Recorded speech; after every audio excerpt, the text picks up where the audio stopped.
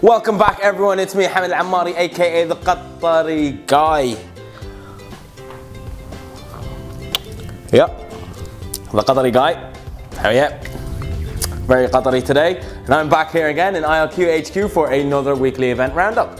So this weekend, a load of events. One of them, my wedding. I'm getting married on Friday. This is, that's not the wedding song.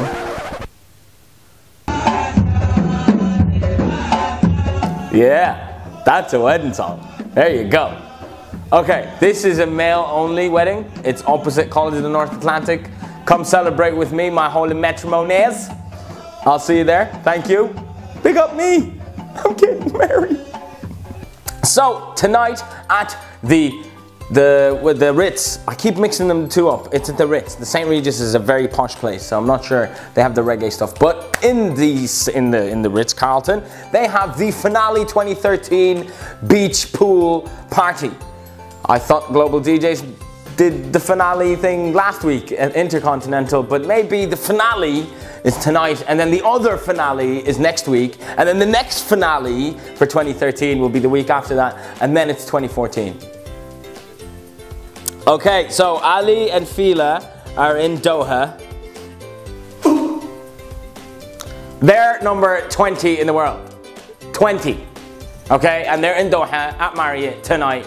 Link, more information, go.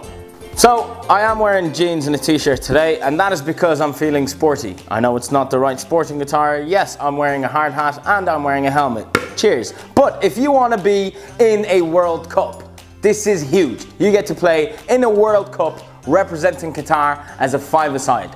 Go on to Legacy Sports and Events, the link, and in association with Duplays, uh, they're putting it all together. The link is down there. Hammer. Check out the link. Okay, I'm not wearing my ghutra and I'm really missing something on my head. So I'm gonna keep this on for the remainder of the episode.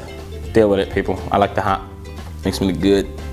Now, told you about the football, but there's also another sporting event that's raising money for people. Run for a cause at Aspire on the 14th of December.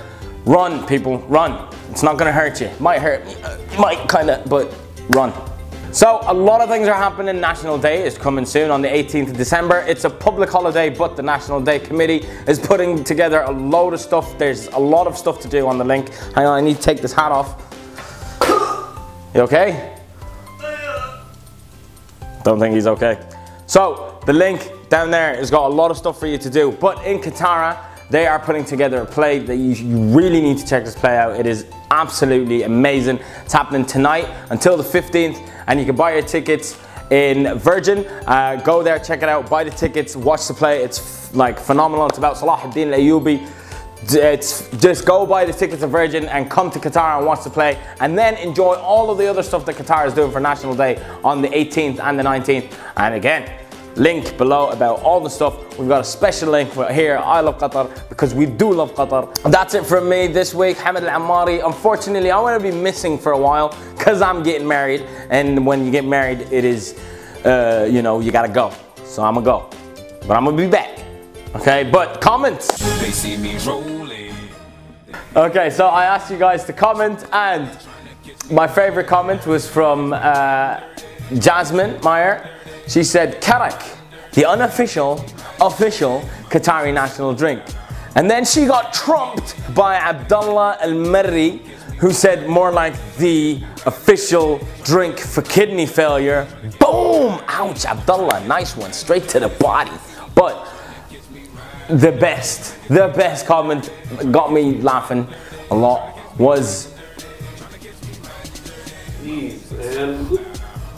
Hamid Al Thani or Karak in Arabic. That's better than Karak in English.